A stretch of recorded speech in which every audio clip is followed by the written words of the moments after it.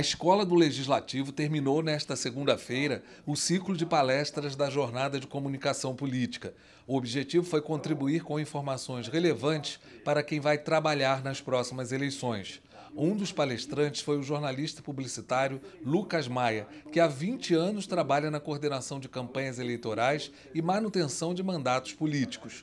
Durante o encontro, ele esclareceu como um candidato deve escolher seu partido em eleições majoritárias e proporcionais. Olha, primeiro tem que ver na nominata, né, que é a lista de candidatos que cada partido manda para os tribunais, a real posição dele ali. Né? Ele tem que saber quantos votos ele pode ter de mínimo e de máximo para saber a real posição dele naquela lista de partido. Também entender o contexto eleitoral. Se ele for um candidato de opinião, ver se, nesse contexto eleitoral, o discurso dele cabe com o tema que está sendo abordado majoritariamente nas campanhas. Entender também a força das mídias, né? os assuntos que estão é, acontecendo, que estão sendo divulgados pelas grandes mídias. Esses são alguns fatores que vão ajudar ele a tomar a melhor decisão. Segundo Lucas, as redes sociais são importantes para os candidatos, mas para ele, o que elege um político é o discurso, o convencimento e o argumento. É, a rede social é importante, uma ferramenta importante para você fazer chegar a sua mensagem até o eleitor. Né?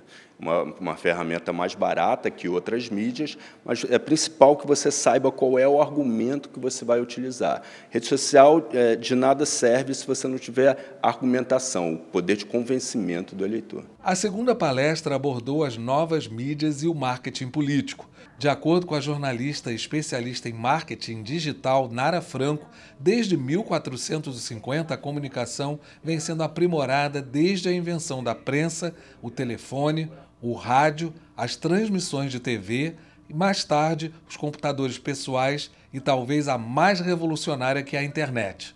De lá para cá, muitos meios foram criados, como correios eletrônicos, ferramentas de mensagens, as redes sociais e o WhatsApp, esses dois últimos mais usados pelos políticos. De acordo com a jornalista, hoje os políticos mais antigos e conservadores têm dificuldade de se adaptar a essa nova realidade.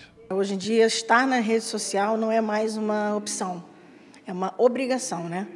Então, o político hoje ele tem que entender que a rede social é como se ele tivesse um próprio canal de televisão, uma emissora de rádio, onde a programação é ele que faz e o público espera que tenha um, um programa entre aspas todos os dias. Então, a rede social hoje ela é muito importante, ela impactou a maneira como a gente consome informação, como a gente produz informação. Então, é, eu costumo dizer que o político saiu da caverna foi para aquário, então hoje ele está super exposto e ele tem que saber usar essa exposição em benefício dele para criar a marca dele, né? para criar a, a persona, como a gente fala na linguagem técnica.